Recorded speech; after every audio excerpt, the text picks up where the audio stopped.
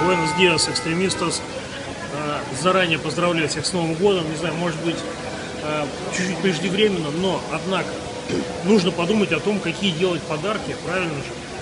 Э, как намекнуть своей девушке, или как девушка должна намекнуть своему парню, что надо немножко заняться собой.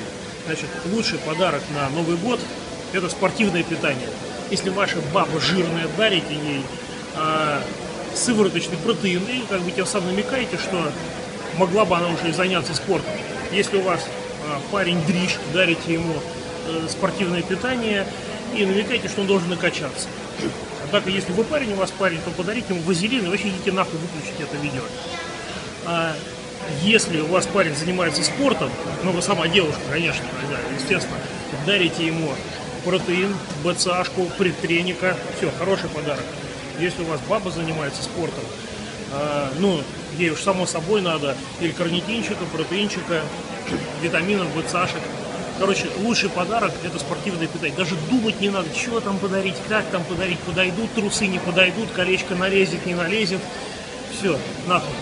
А я нахожусь пока в Кубе, Новый год, думаю, буду отмечать, на самом деле, елка, елка искусственная, буду отмечать Новый год под пальмами. Ну и естественно, что я в итоге стал коммунистом. Но пасаран.